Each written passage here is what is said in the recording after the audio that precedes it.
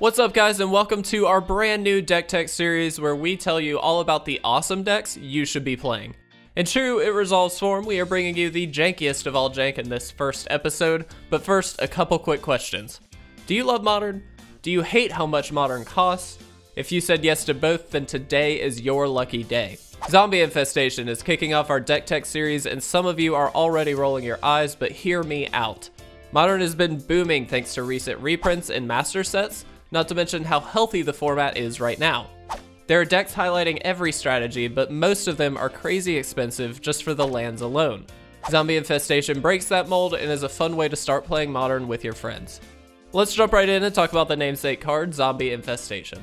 An enchantment that costs 1 and a black, Zombie Infestation states, discard 2 cards to put a 2-2 black zombie token onto the battlefield. How do you get so many cards in your hand, do you ask? By casting Treasure Hunt. Treasure Hunt is a sorcery for 1 and 1 blue that states, reveal cards from the top of your library until you reveal a non-land card. Then put all revealed cards into your hand. The idea is by using your 4 copies of Treasure Hunt, you can fill your hand to fuel your 2 copies of Zombie Infestation.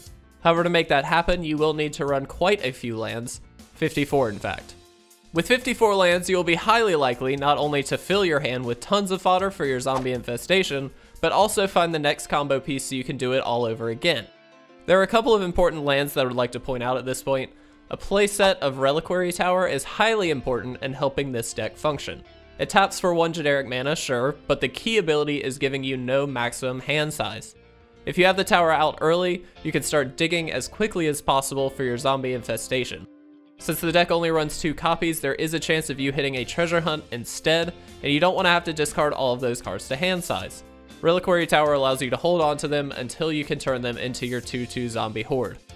A playset of Contested Warzone also allows you to buff up your horde of zombies before you swing for lethal, and a few manlands like Faerie Conclave allow you to have outs not only to finish off your opponent for a few points of damage, but also protect yourself against oncoming attacks at a relatively low cost. The rest of your deck is simply filled with islands and swamps to make sure you'll be adding tons of cards to your hand every time you cast a treasure hunt. There are definitely some lands you could add in to help make this deck a little bit better against certain matchups. Bojuka Bog would be fantastic against graveyard decks. More manlands like Creeping Tar Pit could provide some extra long-term damage, and you could even add in something like Dismal Backwater as a way to gain some incidental life. I would definitely recommend trying these cards out, but make sure you don't add too many tapped lands to your deck. Ideally, you want the zombie infestation out on turn 2 and to be producing your zombie horde on turn 3, so just make sure you aren't slowing that down too much. With such an all-in strategy like this, you may be thinking about the lack of great sideboard options. The fact is, you almost want to avoid sideboarding with this deck solely because it's such an all-or-nothing strategy. The sideboard suggested by MTG Goldfish runs a few protective spells like Dispel and Duress, but the fact is, adding these cards to your deck makes it a little less likely that it will function the way it should. Again, I would definitely try some cards out here, but not go too deep. Keep it simple and keep it fun. Zombie Infestation is an absolutely hilarious deck that anyone can go pick up cheap and have for their local Modern Night.